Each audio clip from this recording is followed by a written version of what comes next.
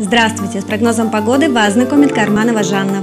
В субботу показания барометров за Урале будут стремительно падать. Это скажется влияние североатлантического циклона с запада, откуда потянутся массивы плотных облаков, облажные дожди, местами сильные, что, впрочем, не помешает температурному фону на 3-4 градуса превысить свою климатическую норму.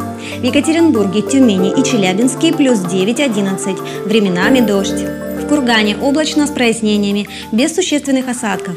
Ветер южной четверти 3,8 метров в секунду. Температура воздуха плюс 2-4. Днем в Кургане облачно, временами дождь. Ветер юго-восточный 7-12 метров в секунду. Температура воздуха плюс 9-11. Атмосферное давление будет падать и составит 735 миллиметров ртутного столба. 15 апреля солнечная активность умеренная, геомагнитное поле неустойчивое.